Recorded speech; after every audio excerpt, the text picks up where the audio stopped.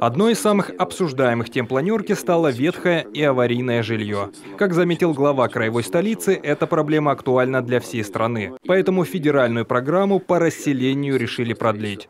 Уже составлен график выделения средств из бюджета. Однако дома, находящиеся в особо критическом состоянии, своей очереди могут не дождаться. Там ждать, допустим, 22, 23, 25 года, как это у нас непосредственно э, утверждено программой, некоторые объекты и не доживут.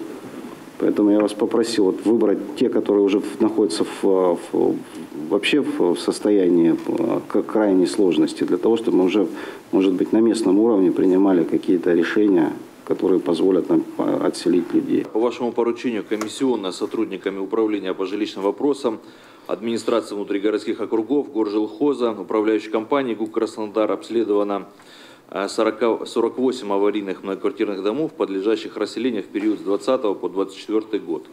По результатам визуального осмотра выявлено 6 аварийных многоквартирных домов, имеющих худшее техническое состояние. Управление по жилищным вопросам обратилось в Министерство ТЭК и ЖКХ с просьбой о переносе сроков расселения в этих домах на более ранний срок.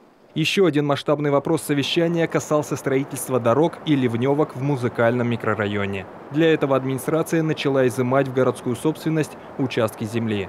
Подобные земельно-правовые работы ведутся и в микрорайоне Солнечном.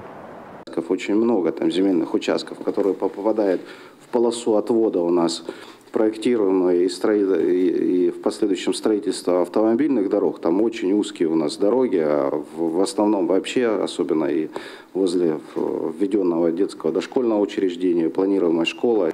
Большая модернизация энергосистемы всего Краснодара запланирована на 2020 год. В разных частях города будут строиться трансформаторные подстанции и протягиваться кабельные линии.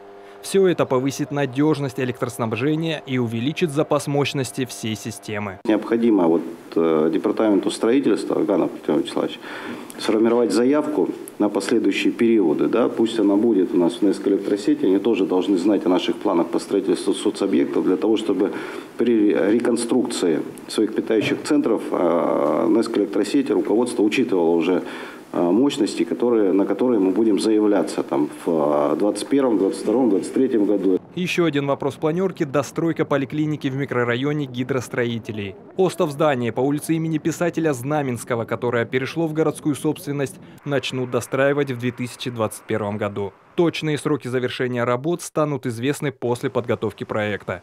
Процедура поиска организации, которая это сделает, уже началась. Разработку же проекта завершат в начале следующего года. Денис Сенькин, Алексей Попов, Андрей Токмаков, телекомпания «Краснодар».